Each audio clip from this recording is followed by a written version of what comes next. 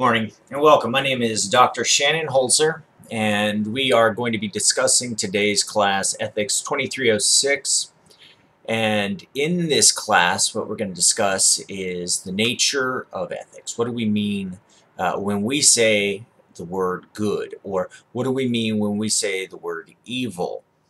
Uh, so, I mean, those are can be vague terms. We use them all the time.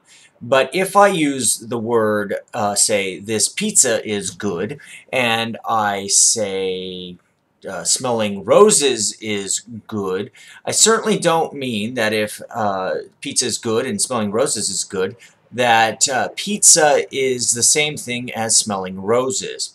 Instead, what I want to know is when I use the word good, in reference to the smell of roses, or when I say good in reference to the taste of pizza. Those are not the same things, but what I want to know is, what do I mean by the word good? Conversely, when I say murder is bad, theft is bad, uh, lying and cheating are bad, I don't mean that murder is the same thing as theft.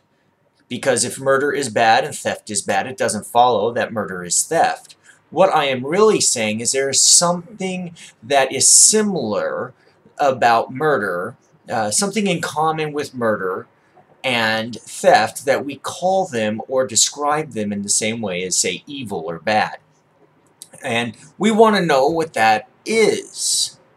And so the topic of today's class is really uh, what do we mean by that word good and evil, or those words. Uh, in fact, that is really uh, what we endeavor to do for the entire uh, semester of this class because uh, that has that question has been enduring uh, for thousands of years. That is, when I say X is good or when I say X is bad, um, I want to know to what I am referring. And there are many different theories, and the course here is going to run us over each and every theory of what it means to be good and evil. Now, my goal for this assignment here is merely for you to recognize or be able to, to list a few things that are good and list a few things that are evil. And I would say, this is the assignment here uh, that I've already posted, uh, is that what I want you to do is write out, say, 10 things that you would describe as morally good. And on the other hand, I would like you to describe 10 things that are morally evil. And I don't want you to have to go uh, Google evil or good to try to find the answers. I assume you can do that. This isn't a class over uh, what we can find on the internet or what's in the textbook at this point.